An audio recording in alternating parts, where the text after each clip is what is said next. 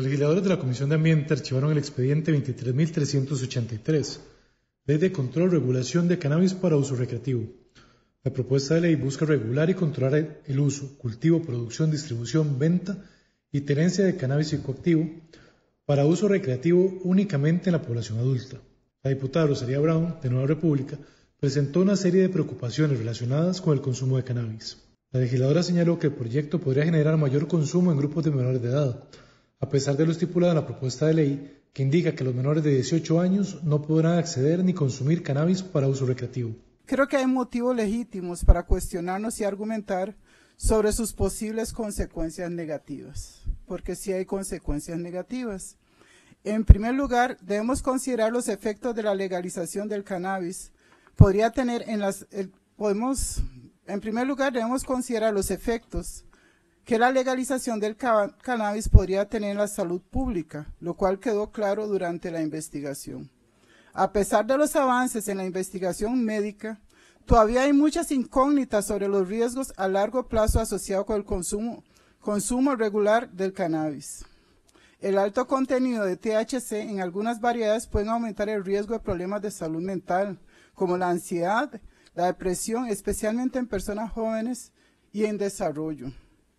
Además, existe la preocupación que la legalización del cannabis puede aumentar el, el consumo en adolescentes pese a la ferviente oposición de algunos al señalar que esta legislación está orientada exclusivamente a adultos.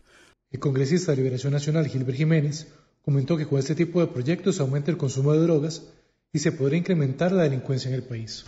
Creo que la mayor irresponsabilidad que podemos tener como diputados es probar un proyecto en contra de la salud de todos nuestros ciudadanos. Venimos aquí a proteger la salud, a defender la salud y a buscar mejores oportunidades y opciones para nuestros ciudadanos y no para llenar el bolsillo de unos cuantos que muy probablemente son los que hoy están luchando para que estas cosas se puedan dar en nuestro país y llenarse ellos los bolsillos a costa de la salud y las enfermedades y por supuesto del deterioro de nuestra población. Hoy más que nunca debemos ser conscientes de que las decisiones que tomemos vienen a marcar un preámbulo muy claro para poder fortalecer el desarrollo de nuestro país y si logramos unidos hacer buscar los proyectos, legalizar las cosas que hoy nos causan daño, señores, qué mal estamos haciendo. Por su parte, el proponente de la iniciativa, el diputado oficialista Manuel Morales, defendió que con este proyecto no se promueve el consumo, sino que se regula el mismo. Este es un proyecto no para promover el consumo, no queremos eh, más consumidores, lo que queremos es regular lo que hoy existe, que hoy está la libre, que hoy está la mano de los narcotraficantes y de, y de los criminales.